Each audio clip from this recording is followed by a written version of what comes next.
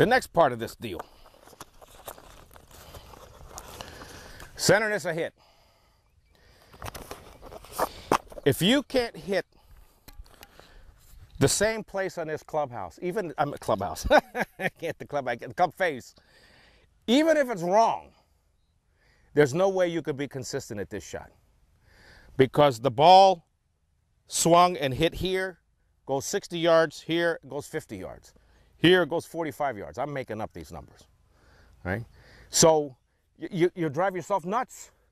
Two things have to happen. You've got to get it in the center of the club face, and you've got to find a golf ball you like, and you've got to stick with it. You got no choice. You can choose any golf ball you want. You know, something that you're not in a panic every time you hit one and, and lose it, and you say, I can't make my house payment. You know, you don't have to buy 50 $60 a dozen golf balls. That's malarkey. But if you find a golf ball that you like, and one trick you can do too is let's say you get, uh, I don't want to name any brands just to not look like I'm pumping somebody's brand. You know I'm with Callaway, but let's say you let's say you like playing with the brand new, you know, Hex Black Callaway. Those are 45 bucks a dozen, whatever. You can probably buy online a bag of them used out of the water that are like almost brand new. Use those for every day, and then if you're playing in a tournament, use a new one. You know, you could do that would lower the cost some, you know. But if you like any of these balls that are, you know, 15.99, just don't buy anything that says straight.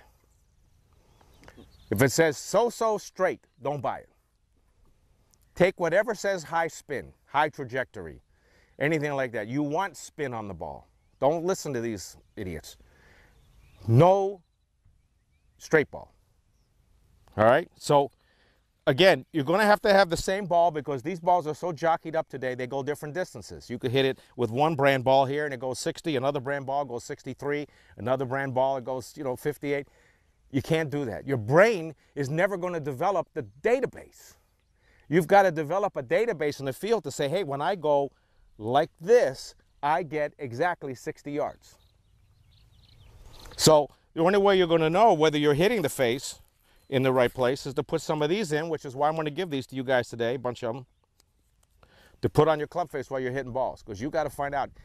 You're only taking a very short stroke from here to here. So if you can't get the club face every time, then you know you're not getting it with a full shot. And we've got to find centerness of hit.